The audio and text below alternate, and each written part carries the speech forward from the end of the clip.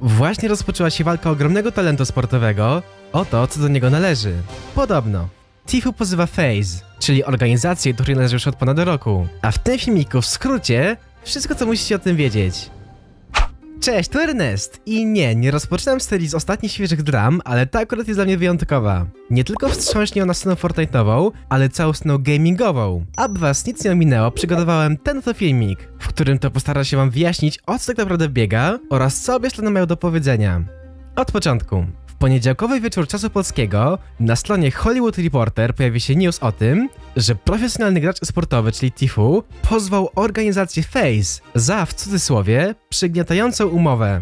W celu wyjaśnienia tej sytuacji na początku został przytoczony przykład Ninja. Jego sponsorami są Uber Eats, Red Bull i Samsung. Dzięki tej współpracy w poprzednim roku udało mu się zarobić w sumie ponad 10 milionów dolarów. Według prawnika Tifu, przez tę organizację przegapił wiele takich potencjalnie owocnych okazji. Do tego Face podobno powstrzymywał Tifu od nawet przeglądania różnych propozycji, często lepszych od jego obecnych partnerów. Okej, okay, to już brzmi źle, ale to nic w porównaniu do tego, że rzekomo Face pobiera do 80% z jego filmów na YouTube i na Twitchu oraz połowę zysków z wyjazdów w trasę oraz wystąpień. A jeśli to brzmi źle, to słuchajcie uważnie. Pozyw dotyczy też tego, że członkowie organizacji FACE rzekomo dawali alkohol osobom poniżej 21 roku życia, co jest nielegalne w Stanach Zjednoczonych. Jedną z tych osób miał być właśnie Tifu. To nadal nie wszystko, ponieważ Tifu twierdzi, że nowy członek klanu Face o niku High Sky, jak i jego rodzina byli namawiani do tego, aby kłamali na temat jego wieku. High Sky podobno miał mieć 13 lat, kiedy tak naprawdę ma on 11 lat. Nieważne w jakim celu, taka sytuacja nie powinna mieć w ogóle miejsca. Do tego też dochodzi oskarżenia o nielegalny hazard oraz kilka innych, ale te główne oskarżenia składały się w jedną ogromną bombę. Jeśli to wszystko okaże się być prawdą, możemy spodziewać się równie ogromnych zmian na tej scenie. Nie wiadomo ilu jeszcze takich graczy jest wykorzystywanych w ten sposób dla zysku. Jak sami widzicie, chodzi o pieniądze. Zanim jednak przejdziemy do jakiegokolwiek podsumowania, to trzeba, ale to trzeba wysłuchać drugą stronę czyli oskarżonego. Gdy tylko ta wiadomość wybuchła, niedługo zjął Banksowi, właścicielowi organizacji Face, napisanie tego, co ma na myśli na temat tej całej sytuacji. W swoich tweetach wyraził, jak to bardzo jest mu przykro i jak niesłuszna jest ta sprawa. Zapewni, że taka umowa, jak jest mowa w artykule, nie istnieje i nie istniała, a oskarżenia o namawianie do picia alkoholu czy nielegalny hazard to zwykłe ściemy. Napisał, że Tifu nie był do niczego zmuszany. Jednak nie wypowiedział się jeszcze na temat 11-letniego gracza ale dodał, że Face nie ukradło żadnych 80% z zysków Tifu. W sumie na tym członku organizacji Face zarobiło 60 tysięcy dolarów. To bardzo mało w porównaniu do milionów, które zgarnął dla siebie Tifu i może nawet mniej niż 80% z tego, co Tifu robi w kilka dni, jeśli nie w jeden dzień.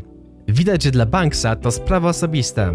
Poznał on Tifu, gdy miał zaledwie 100 widzów na swoich live'ach na Twitchu i co ciekawe, w miesiącu, w którym Tifu dołączył do organizacji Face, Tifu dosłownie wystrzelił w popularności. Na stronie Social Blade na własne oczy możecie zobaczyć, że do kwietnia 2018 roku, czyli do momentu, gdy Tifu dołączył do Face, jego przyrosty były względnie bardzo malutkie. Wszystko nabrało tempa, gdy tylko dołączył do Face i zaczął przybywać w środowisku innych już ogromnych twórców z tej organizacji. Face jest jedną z, jeśli nie najbardziej rozpoznawalną organizacją sportową i ktokolwiek do niej należy, ma duży wpływ na mediach społecznościowych. Największym czynnikiem, który przyczynił się do jego popularności był wielki turniej Fortnite z kwietnia tamtego roku na który dostał się tylko dlatego, że należał właśnie do Face.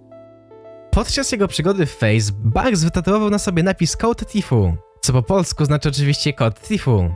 Byli naprawdę dobrymi przyjaciółmi i Banks robił wszystko, aby Tifu wybił się jak najlepiej i jak najwyżej. Ale pamiętajmy, że Banks tak naprawdę w środku nie prowadzi tej organizacji, a na pewno nie w pojedynkę. Od tego ma swój zarząd oraz osoby, które mają wiedzieć co robią w temacie papierów. Poza tym Facebanks zdecydował się przekazać te 60 tysięcy dolarów na kontynuację tego samego turnieju, o którym wam wcześniej wspomniałem. Banks nie chce mieć ani grosza z tych zysków. Następnie na ten temat organizacja Face udostępniła swoją oficjalną odpowiedź na Twitterze. W skrócie, są zszokowani słowami Tifu. Twierdzą, że zarobili tylko 60 tysięcy dolarów, kiedy Tifu zarabia miliony, będąc członkiem ich organizacji. Dodali też, że nie pobierają więcej niż 20% z jakichkolwiek zysków jakiegokolwiek członka ich organizacji. Podobno od września poprzedniego roku Face bezpośrednio współpracował z Tifu, aby jak najbardziej usprawnić jego umowę. Podobno oferowali mu kilka nowych ulepszonych umów, w których to Face pobierałoby 0% z jego zarobków. Każda z tych propozycji była albo odrzucona, albo zignorowana. Face Cloak, duo partner Tifu, także dodał coś od siebie. Cloak jest i dalej będzie członkiem Face i dalej będzie grał z Tifu. Jak to napisał, świetnie czuje się w gronie Face, a ręce zarządu tej organizacji często były po prostu w cudzysłowie związane. Jak napisał, teraz jest pora na wypowiedź Tifu. W artykule, który to wszystko rozpoczął, jest informacja, że Tifu starał się opuścić Face pod koniec 2018, ale jego rezygnacja została odrzucona. Jeśli to nie zadziałało, to może to jest jego sposób na wydostanie się spod tej umowy. Dajcie znać, co wy uważacie o tej całej sytuacji oraz kto waszym zdaniem ma rację. Na ten moment, do trzeciej nad ranem, Tifu jeszcze nie wypowiedział się na ten temat, ani nie odpalił live'a. Nie chcę jeszcze wybierać stron, ale wygląda na to, że jak na razie to Face ma właśnie rację. I to tyle. Ja już dziękuję za oglądanie i do zobaczenia w busie bojowym.